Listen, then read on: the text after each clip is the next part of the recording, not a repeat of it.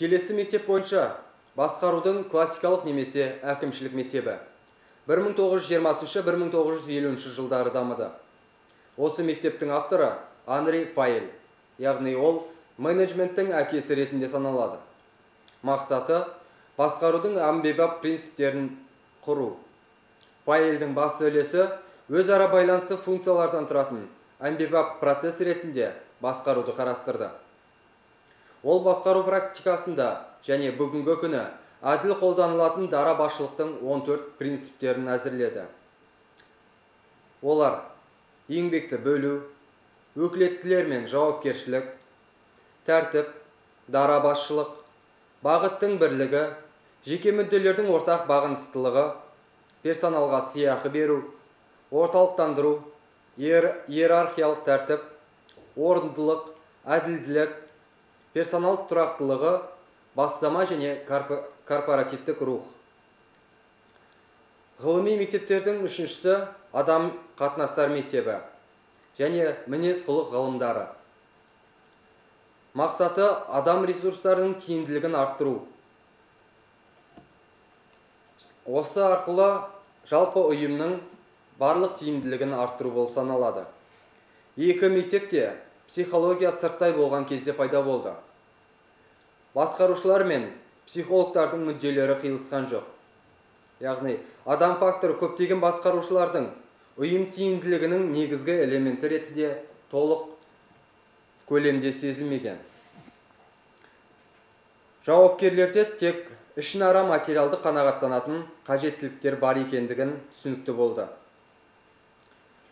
Психология мен әлеуметтанудың дамуы адамның жұмыс орнындағы мінез құлқын зерттеуді неғұрлым ғылыми ете түсті.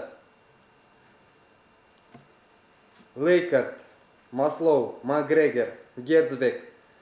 Бұл ғалымдар әлеуметтік өзара іс-қимылдың мотивацияның билік сипатының беделдің көшбасшылықтың ұйымдағы коммуникацияның түрлі аспектілерін зерттеді. Адами қарым-қатынас мектебі тұлғааралық қарым-қатынастағы жалпы мінез құлыққа және олдың адамдардың психологиясына назар аударды. Ал мінез құлық мектебі қызметкерлерге өз мүмкіндіктерін түсінуге көмек көрсетуге тырысты. Осы мектептердің төртіншісі экономикалық математикалық әдістер мектебі. Бұл мектеп 1950 жылдан қазіргі күнге дейін жалғасып келеді.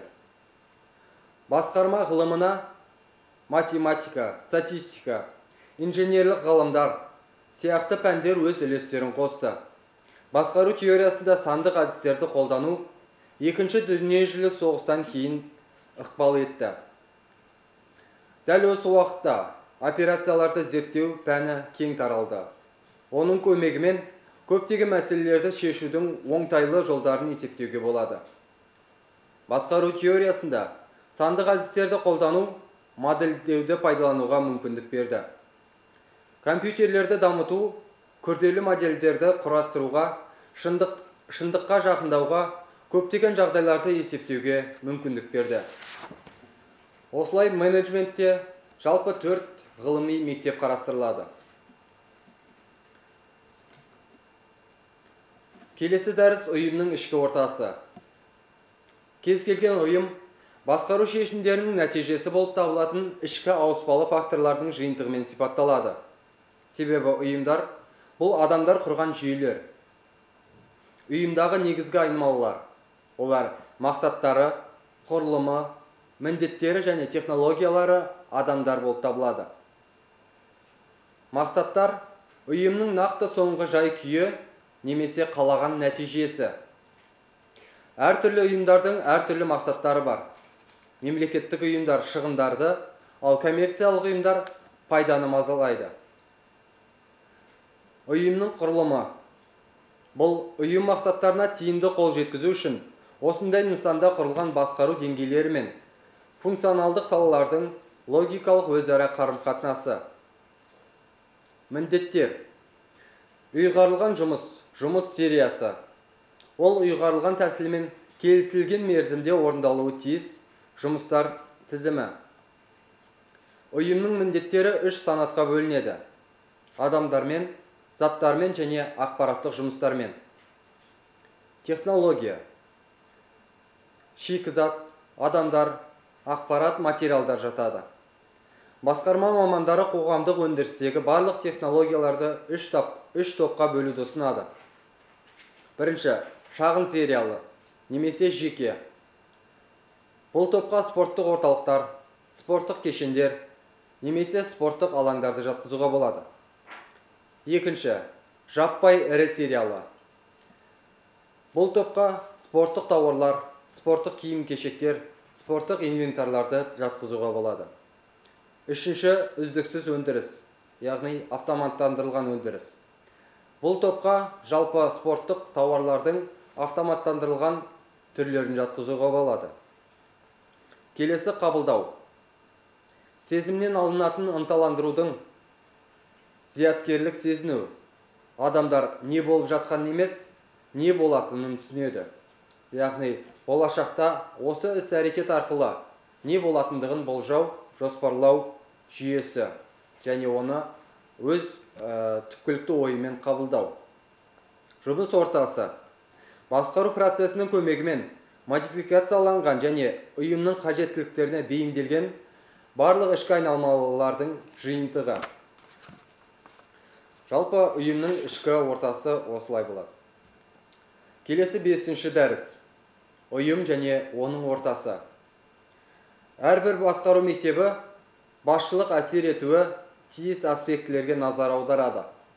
Мысалы ғылыми басқару мектебі міндеттер басқару технологияларына әкімшілік мектеп құрылым құруға мінез құлық ғылымдары мектебі ұйымдағы адамдарға олардың психологиясына назар аударуды ұсынады. Және осы аспектілерді тиімді қолдана білуіне байланысты ұйымның өмір сүруі менеджерлерге және 80 пайызы басшыларға байланысты болып табылады. Ұйымға әсер ететін факторлар жанама және тікелей әсер ететін орталарға жатқызылады. Бұл өнім берушілер бәсекелестер тұтынушылар заңдар мен мемлекеттік реттеу органдары. Друкердің айтуы бойынша бизнестің жалғыз және шынайы мақсаты тұтынушы құру деген мақсатты көздейді. Ұйымның өмір сүруінің өзі және өмір сүруінің ақталуы оның қызмет нәтижелерін тұтынушылардың табу қабілетіне байланысты. Бұл мемлекеттік ұйымдар мен коммерциялық, коммерциялық емес ұйымдарға да байланысты. Қалған факторлар жанама әсер ету факторлары. Экономиканың экономикалық жағдай саясат әлеуметтік мәдени факторлар халықаралық оқиғалар ғылыми техникалық прогресс және де жаңа технологиялар жатады. Жанама әсер ету факторлары ең маңызды болып табылады. Және олар ең күрделі мысалы бір мезгілде ішкі айналмалы және сыртқы фактор болып табылатын технология. Технологиялық жаңашылдықтар өнімді дайындауға сатуға өнімнің ескіру жылдамдығына ақпаратты қалай сақтауға жинауға және таратуға болатынына әсер етеді. Технология деп HTP есебімен өндірістік күштердің нақты даму деңгейін түсіндіріледі. Тағы да бір күрделі фактор деп айтуға болатын әлеуметтік мәдени фактор. Оларға ұйымға әсер ететін өмірлік құндылықтарды дәстүрлерді қағидаларды өзіне жинайды. Бұл фактор бір мезгілде ішкі және сыртқы болып табылады. Өмір сүруді және қойылған мақсаттарға қол жеткізуді қамтамасыз ету үшін тиімді әрекет ету және сыртқы ортаға бейімделу қажет. Сыртқы ортаның сипаттамасы. Сыртқы ортаның күрделілігі деп ұйым ден қоюға міндетті факторлардың саны түсіндіріледі. Ортаның қозғалуы. Ұйымның ортасында өзгерістер болатын жылдамдық. Әртүрлі ұйымдар үшін әртүрлі болып келеді. Сыртқы ортаның белгісіздігі нақты факторға қатысты ақпарат санымен. Осы ақпарат сенімділікпен анықталады. Келесі басқарудағы байланыстырушы процесстер басқару. Ұйымның мақсаттарына жету және тұжырымдау үшін қажетті жоспарлау ұйымдастыру ынталандыру және бақылау процесі. Басқару процесінің осы негізгі функциялары. Коммуникацияның екі байланыстырушы функциясымен және шешім қабылдаумен біріктіріледі. Барлық ұйымдарда оның ішінде дене шынықтыру спорттық бағыттағы ұйымдарда жалпы белгілері бар. Мысалы жаттықтырушы спортшыға тапсырма береді. Спорт мектебінің директоры спорттық жарыстар күнтізбесін әзірлеуді тапсырады. Федерация төрағасы спорт түрінен құрама команданы құруды тапсырады. Стадион директоры спорт аренасының меңгерушісіне футбол алаңын дайындауға тапсырма береді. Яғни осындай мысалдар арқылы басқару жүйесі түсіндіріледі. Келесі коммуникация.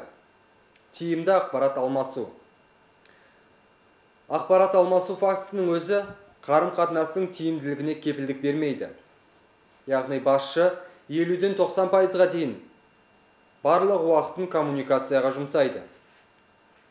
Менеджментте ұйым мен оның ортасы арасында деңгейлер мен бөлімшелер арасында бөлімдер арасында басшы мен бағыныштылар арасында коммуникациялар болып бөлінеді.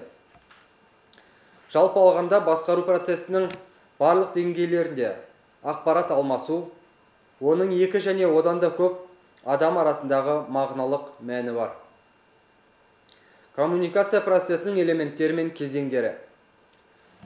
Мамандар ақпарат алмасу барысында төрт негізгі элементті бөліп көрсетеді. Бірінші жіберуші.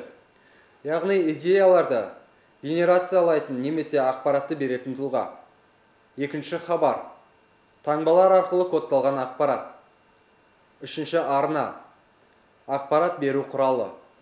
Және төртінші алушы. Ақпарат кімге арналған және оны түсіндіретін тұлға. Келесі алтыншы дәріс. Спорттық ұйымдардың типологиясы. Спорттық менеджмент салалық әлеуметтік басқарудың бір түрі ретінде дене шынықтыру спорттық бағыттағы ұйымдармен жұмыс істейді. Қолданыстағы заңнамаға сәйкес дене шынықтыру спорттық бағыттағы ұйымдар болып дене шынықтыру және спортты дамыту мақсатында қоғам спорт түрлері бойынша федерациялар қауымдастықтар қорлар клубтар және азаматтардың өзге де бірлестіктері танылады. Мұндай ұйымдардың басты мақсаты олардың қызметінің мәні дене шынықтыру спорт қызметтерін өндіру болып табылады. Қызметтің негізгі түрлеріне мыналар жатады. Дене шынықтыру жаттығуларымен және спортпен шұғылданудың ұйымдастырушылық нысандары дене тәрбиесі және сауықтыру сабақ бағдарламалары спорт көріністері шұғылданушылар үшін кеңестер спорттық жарыстар және тағы да басқалары.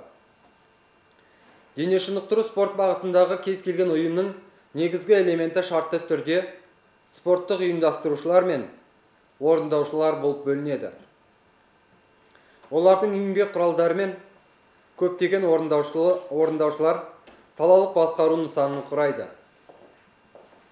Көптеген басқарушы менеджерлер ақпаратпен ұйымдастыру техникасымен және қызмет көрсетуші персоналмен бірге салалық басқару субъектісін құрайды. Дене шынықтыру спорттық бағытындағы ұйымдардың жалпы ерекшеліктерін және олардың жұмыс істеу механизмінің ерекшеліктерін түсіну сондай ақ спорт ұйымдарының әртүрлі түрлерін тиімді басқару үшін оларды ретке келтіріп жүйелендіру қажет.